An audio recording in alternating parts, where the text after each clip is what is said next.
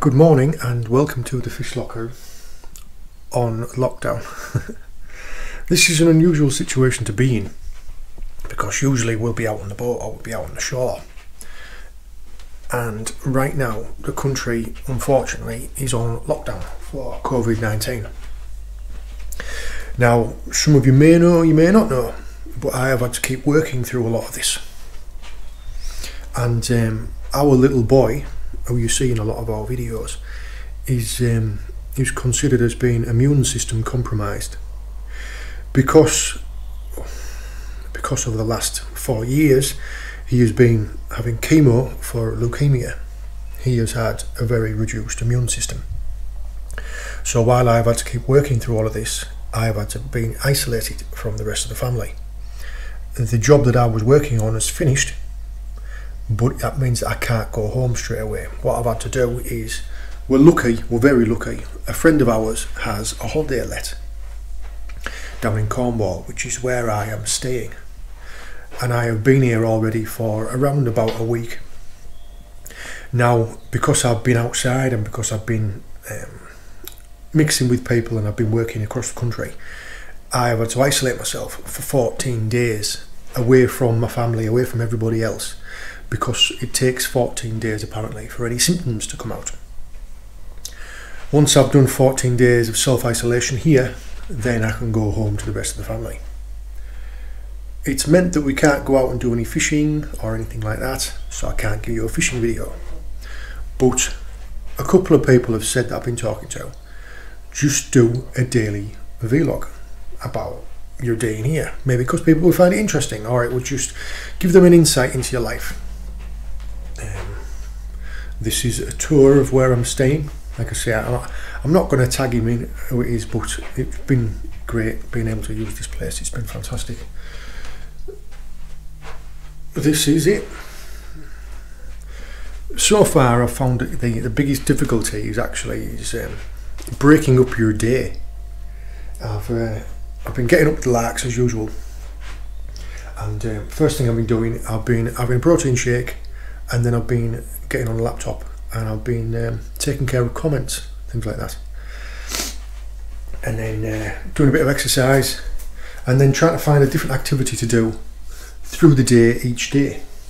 So what I'm going to do now is I'm going to have a drink, I'm going to watch the news, then I'm going to get uh, my porridge and I'm going to sit down and do some comments.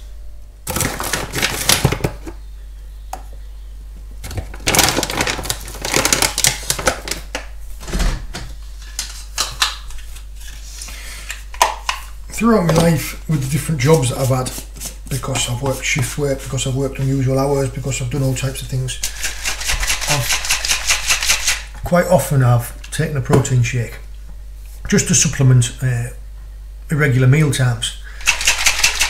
And throughout the time, I've tried different ones. Throughout my life, I've tried different ones, and I've I found some I like, I found some I don't like. This is in no way an endorsement of a specific brand, but I've found that um, I used to drink just whey proteins because I thought that it was the best thing for me. And then um, it was only recently that I found out actually that um, because whey is a byproduct of the dairy industry, I was actually slightly lactose intolerant.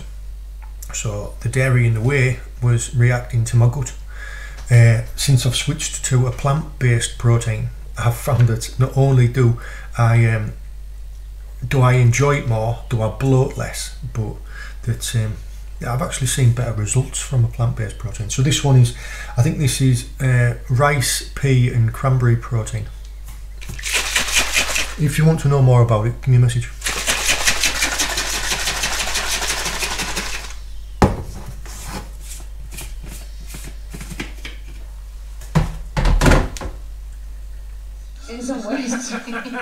That's the baby. Right, well that's enough of that.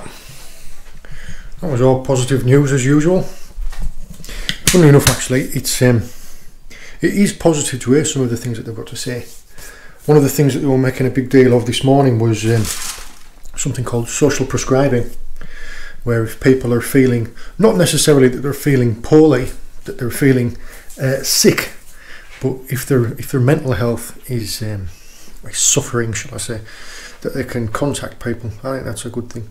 I think people should be doing that anyway. I mean, it's um, it is sad that there are people out there who feel like they've got nobody to talk to. I hope that uh, I hope that people are finding our channel useful like that. Like I keep, I keep saying to people that we're talking to that um, if at the very least our videos are um, providing a slight distraction from the things that are going on at the moment, then they're worth making. And also, people, a lot of people actually do do contact us and talk to us, which is great. It's, it's great that we can we can provide that, that we can have that type of community. Exciting as my breakfast is this morning, we have porridge with raspberries and blueberries. Now, all I did was I just, um, my wife and I organised an online shop when I was arriving home, and uh, I picked it up in the van and then brought it here. So, so far, I have, I still have four or five days worth of food in there, and I'm gonna, I'm gonna cook up a big pan of food tonight.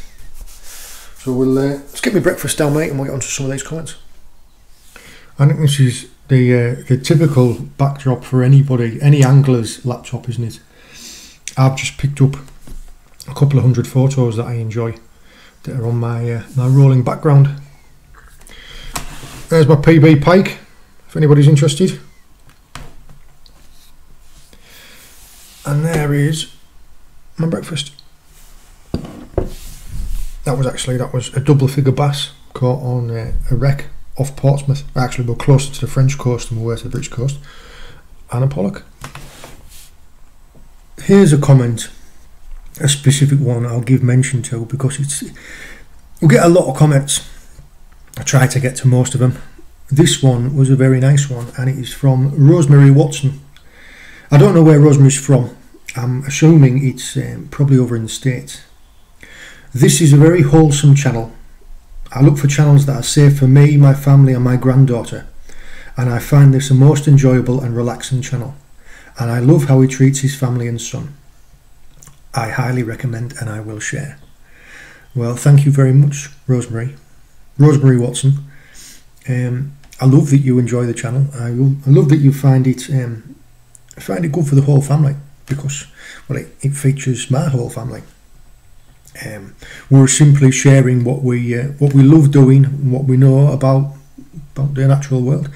Um, yeah, thank you for getting in touch. I'll write you a message now. Not all of them are good. you do get a couple of plonkers, like this one here. Um, I'm the two king three. Let's dethrone Tom, Tim, Tyler, Todd, Tem. I don't know what language you're speaking, mate, but I don't get it. Joshua Strange. Don't know why I'm up at this time, but I enjoyed watching this. Alright, mate. Uh, Chris Davies. This was on the dogfish catch and cook. I could make a fortune in Swansea selling dogfish fillets. it's all I catch down my way. Yeah, I can understand that. See, we'll pick out another one. Um, Matthew Wilson, another one on the dogfish video. Uh, I don't really enjoy fish other than usual cod or pollock, as the stronger taste can put me off. Um, it's a bit difficult to read. Um, as a stronger taste can be, put put me off a bit like sea bass.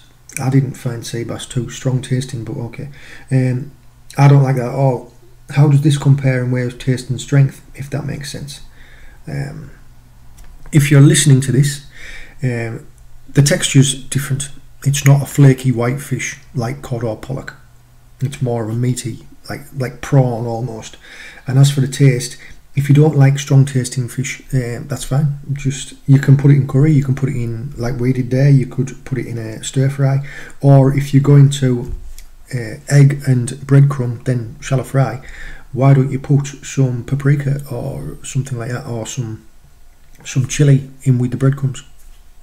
I'll, I'll write you a message, but Matthew Wilson, that's for you. Let's get on to these. This is actually harder than I thought it was going to be. Days like when I'm out on the shore, I'm out on the boat, I've got something to talk about. I've only just realised how boring my day actually is when I'm here on lockdown. I've, uh, I'm just going to sit down and have a bite to eat. I thought I'd just talk to you for a couple of seconds. I've um, my hair is that long. I've had to I've had to slick it back. I've been like seven weeks now without a haircut. Can't wait to get home so I can get my haircut.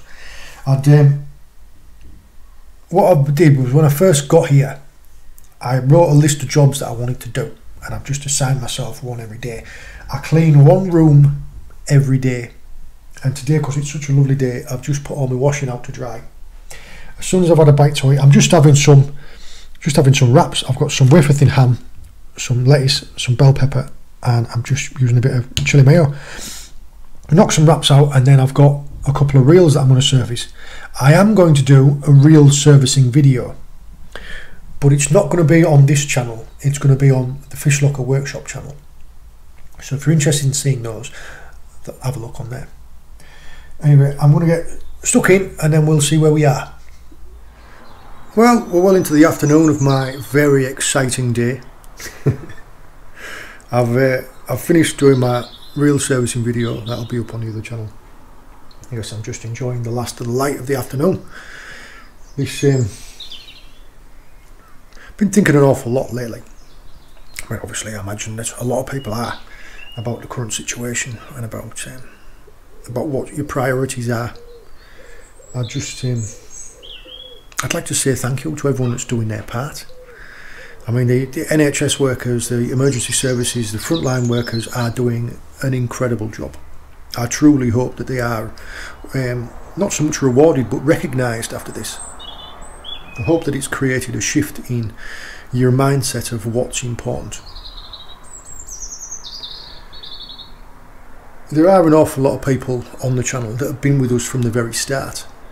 I mean, you have you've seen our children grow over the past couple of years, from the first videos up until the recent ones. You're um, almost invested in our lives because we share so much with you. A lot of you did not know about um, the issues that we've had with our son. Uh, this might be the first that you've been hearing about it. Um, yeah, four years ago he was diagnosed with ALL, which is an acute a lymphoblastic lymphoma. It's a, type of leukemia. So we have had to live the past four lives, four, we have had to live the past four years of our lives pretty much like this lockdown. We couldn't socialise with people, we couldn't go to public places, we had to protect him because he had a reduced immune system. So this hasn't been too much of a a break from our normal life. But it's um, it's definitely it's definitely affected a lot of other people.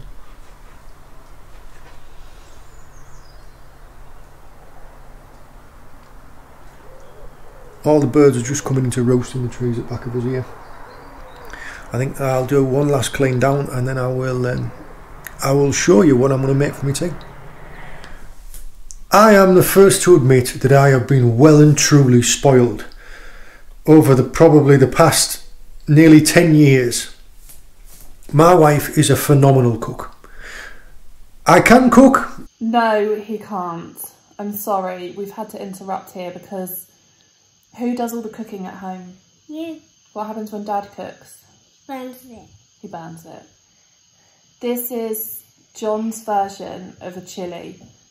Please don't take offence or anything maybe next week I'll do a proper one.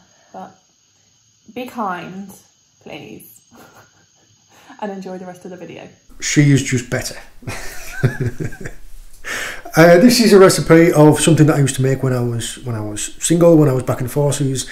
Um, I don't mind eating the same thing for a couple of days in a row. So quite often I would make a big pan of food and then I would just put it in the fridge and I would eat it a cup like dinner and tea for two days or my evening meal for three days in a row. It is the simplest recipe imaginable. Someone with zero culinary experience could do this, which is why it was good for me. All I'm going to use is I'm just going to use um, two lots of 500 grams of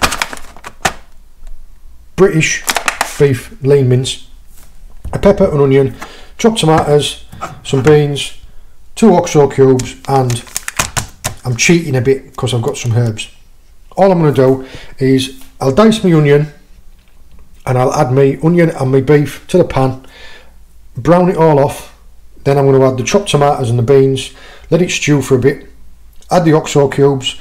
If it needs to, I'll add a little tiny bit of water to it, then add the herbs and add the pepper last. And then let it all simmer down. And there you go. And we'll just get it done. Right, well I've started the mince off browning. I'm just going to put an onion in there.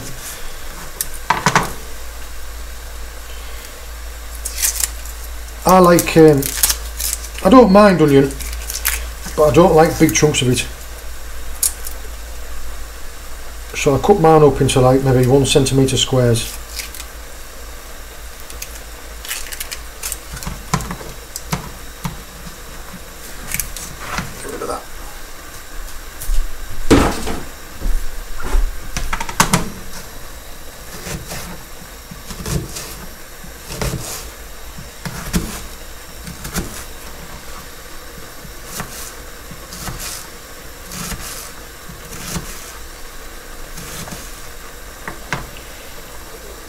So the pieces of onion you can see are about that big.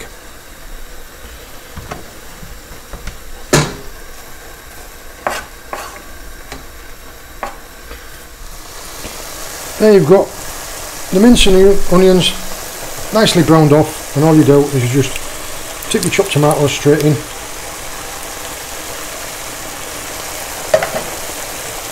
and tip your tin of baked beans straight in as well. If you don't like baked beans, you just use more chopped tomatoes.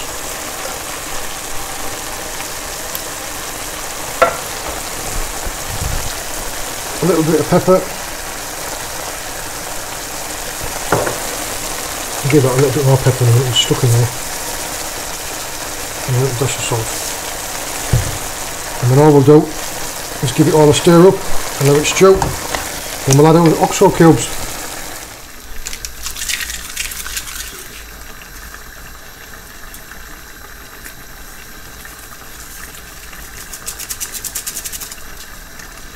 Crush in a couple of oxos. I've found the easiest way with these oxos, I don't know how you do it. If you crush it when it's inside the tin foil and just tear off the bottom corner,